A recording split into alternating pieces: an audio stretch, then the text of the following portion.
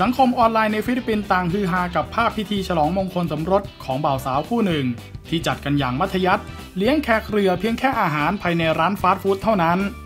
ซึ่งภาพนี้มาจาก Facebook ของเว็บซีดนดนช่างภาพที่รับงานถ่ายเหตุการณ์วิวาห์ของแบรนด์แอลบิโนซาและราเกซาบีเซนเตโมเซนดีคู่สามีและภรรยาที่กำลังตั้งครรภ์ซึ่งจัดในจังหวัดเซบู เมื่อ 7 ตุลาคม 2564 โดยบาบซีอ้างว่าทั้งคู่เป็นเพื่อนสมัยมัธยม แต่หลังจากนั้นก็แยกย้ายกันไป โดยฝ่ายหญิงอยู่กรุงมะนิลา ส่วนฝ่ายชายอยู่เซบู จนพรหมลิขิตก็ชักพาให้ทั้งคู่ได้พบกันอีกครั้ง ที่เมืองลาบูราปุ จนก่อเกิดเป็นความรัก แรกเริ่มเดิมทีไรอันและดักเกซาตั้งใจจะกลับไปแต่งงานที่บ้านเกิดในจังหวัดอากุซันเดลโนเตเมื่อปีที่แล้ว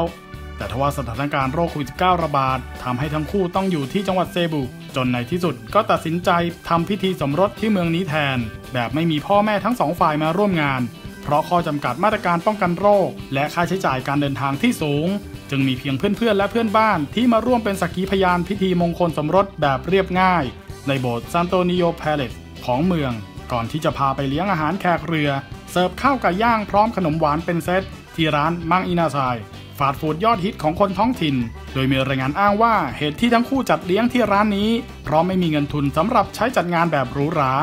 จึงเลือกแบบเรียบง่าย และยังต้อนรับด้วยอาหารที่แสนอร่อย ในช่วงเวลาอันแสนพิเศษของชีวิต